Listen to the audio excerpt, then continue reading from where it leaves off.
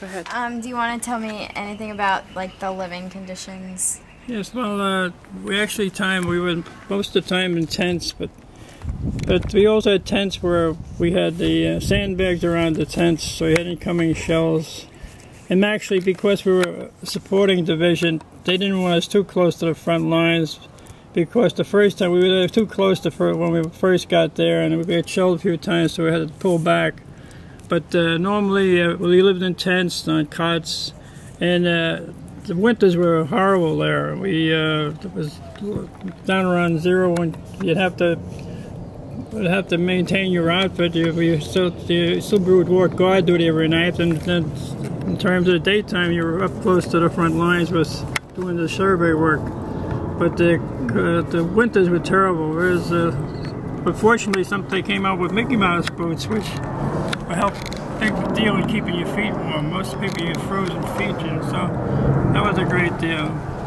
And everybody concerned about being away, everybody was worried about actually being killed. So every night we used to, you know, attend a group of us used to get in and say a rosary every night. And uh, this is a we rotate guys leading the rosary in a tent. It uh, when you don't know if you're not coming back, it makes things get pretty important to you.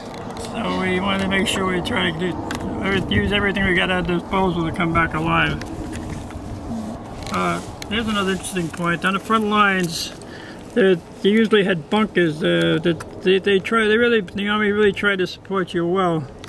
Even though they, so if you were off the front lines, if you, had come, uh, you would come come back like the opposite side of a mountain, like, and there'd be a bunker where they try to heat food.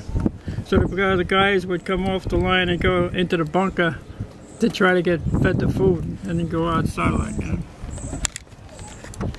So if everything on the front line was bunkers. Bunkers were big holes in the wall with big trees of uh, tree uh, trunks about uh, uh, three a foot in diameter, were laying maybe 20 foot long, laying up over a stretch of a hole like, and you'd go into the underneath the hole, and on top of that would be sandbags.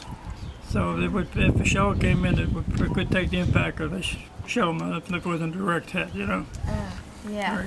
Um, well, I want to thank you for doing the questions. The interview. Uh, yeah. Oh, it was a uh-huh. pleasure. Thank you.